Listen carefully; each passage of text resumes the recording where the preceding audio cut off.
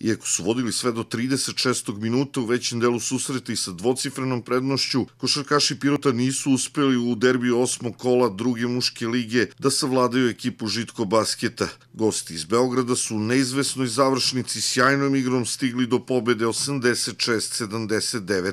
Žitko basket je bolje otvorio utakmicu i prvu četvrtinu dobio sa 22-17. Dve sjajne mini role Vukićević i Stankovića koji su na početku druge četvrtine nanizali po šest poena donele su preokret našem timu. Đonić i Stepanović su bili sjajni u tim trenucima, pa Pirot na odmor odlazi sa vođstvom 46-36. Posle treće četvrtine činilo se da će Pirot zabeležiti novu pobedu. Međutim, gosti se ni jednog trenutka nisu predavali. Predvođeni sjajnim Edinom Veskovićem strpljivo su čekali svoju priliku i dočekali u finišu utakmice. Veskoviću su se priključili Mitrović, Stepanović i Vudragović, i pre svega zahvaljujući sjajnom skoku pod oba koša na kraju stigli do pobede. Naši su završnici utakmice odigrali nekoliko ishitrenih napada, forsirajući šut za tri poena, a šut ih nije služio i to je bilo odlučujuće. Opet se pokazalo da Pirot nema dovoljan fond igrača za ovako kvalitetan rang takmičenja. Na kraju sasvim zaslužena pobeda gostujućeg tima 86-79.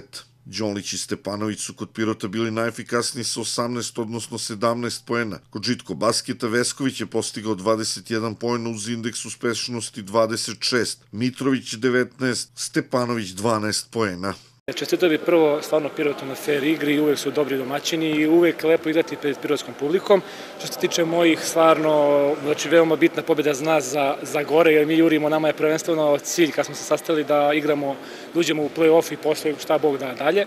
Što se tiče prve, prve četvrtine, odigrali smo stvarno veoma loše, imali smo, imali smo čak mislim 16 izgubljenih lopti, I onda smo, što bi se reklo, trener je spustio da nervozno, da spustio idite u slačionicu i dogovorite se među sebe šta, šta će da raditi i kako ćete.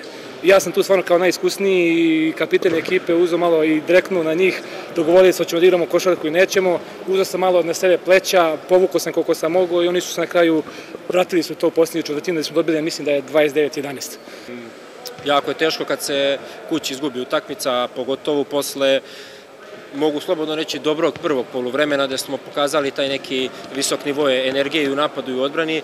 Treću četvrtinu smo, da kažem, preživjeli, vodili smo 11 razlike, međutim u četvrtoj četvrtini smo jako pali ovaj, i psihički, fizički. Momci su nas nadskočili, mnogo su fizički dominantni u nas u tom segmentu igre. Mi imamo već kroz nekoliko kola taj problem sa tim defazivnim skokom, sa građenjem.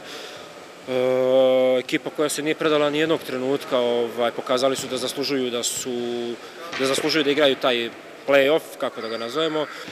A, definitivno se pokazuje da nam fali još, još neki igrač, sa samo 7 8 igrača ne može da se iznese celo, celo prvenstvo, ekipe su i nas kautirale, vide odakle, odakle kreće to sve kod nas, ovaj, međutim mi moramo večeras da Posle ovakvog ishoda susreta, trka za play-off je sve interesantnija. Pirot i Žitko Basket sada imaju isti skor, 5-3. U narednom kolu naši košarkaši igraju novi derbi u Zemunu protiv borca, kada će Pirot biti jači za povratnika centra Gašića.